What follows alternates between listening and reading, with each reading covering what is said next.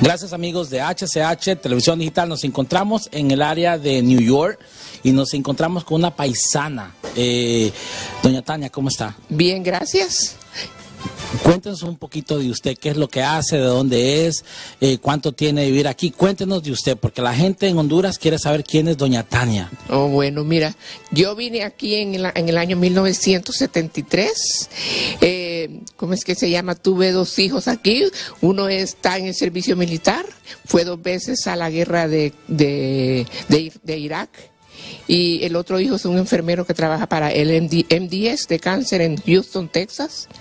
Yo tengo 40, 45 años viviendo en este país. ¿Y cuántos años tiene trabajando en este hotel? Ah, Trabajando en este hotel, yo lo fundé, tengo 38 años. 38 años. Sí, 38 años. El hotel se fundó, el hotel empezó a trabajar en 1980, eh, se empezó el hotel. Y yo empecé a trabajar el, el 4 de febrero de mil- 1981.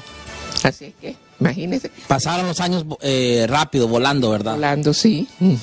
Eh, ¿Qué consejo le puede dar usted a las personas que están viendo en ese momento eh, esta entrevista y, quieren venir a Estados Unidos? ¿Cómo ha sido su vida aquí en Estados Unidos? Mi vida ha sido dura, he trabajado duro, pero he tenido buenas recompensas.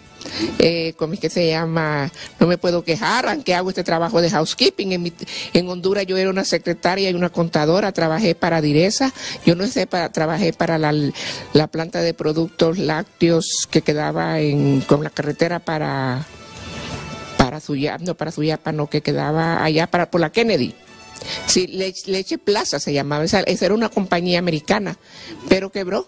Sí, pues no me puedo quejar y cómo es que se llama, yo, yo digo que yo soy una mujer triunfadora, mis hijos están educados, yo tengo, cómo es que se llama, mi trabajo aquí, me voy a retirar, tengo muy buena pensión, tengo, ¿Cu- ¿Cuál es, ¿Qué es lo que lo más divertido que le ha tocado eh, en todos estos años de limpieza de los de los eh, cuartos de los hoteles? Hay mucha gente muy simpática, gente, como es que se llama, también muy fresca, pero de todo, de todo mundo, ah, también gente muy enojada, pero no me puedo quejar. ¿Ha conocido gente importante también? Sí, claro que sí. ¿A quiénes ha conocido? A Monda- Monda- Mondela, ¿se acuerda que el morenito ese que venía aquí, sí?